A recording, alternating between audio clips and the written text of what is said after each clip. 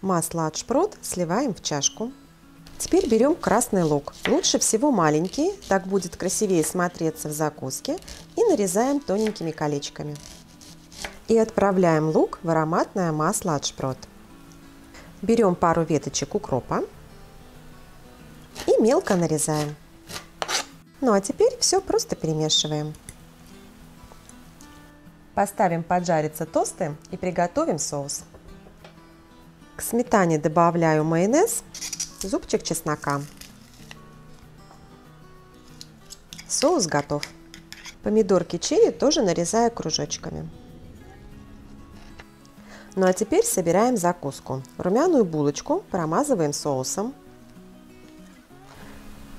Теперь выкладываем колечки маринованного лука.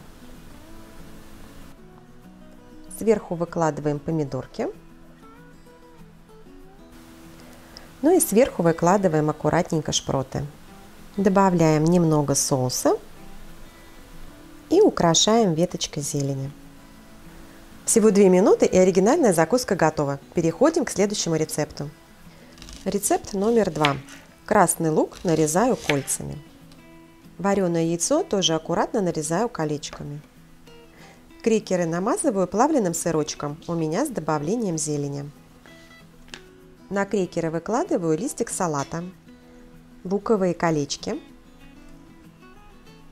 сверху яйцо и, конечно же, шпроты. Еще одна оригинальная закуска у нас готова. Переходим к третьему рецепту. Свежий огурчик нарезаем тонкими ломтиками.